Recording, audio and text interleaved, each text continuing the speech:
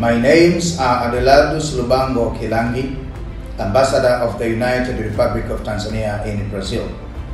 I am very grateful to announce the organizing of Tanzania Brazil Business Forums in Sao Paulo at the Sheraton Hotel, Sao Paulo, from the 10th to the 12th of April 2024.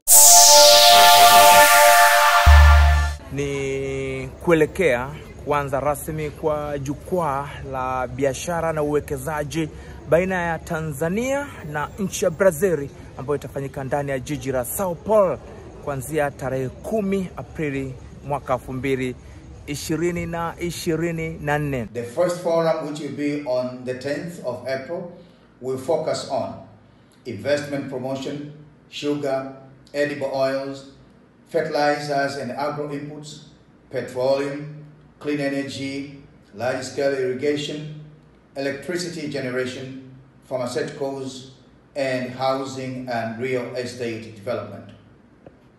The second forum, which will take place on the 11th of April, will focus on culture, sports, Kiswahili language, technology and innovation, and medical training.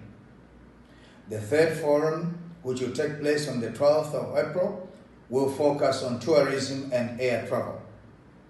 In the overall, we want these forums to end up with concrete engagements and understanding, concrete plans for the way forward, and concrete implementation and execution strategies.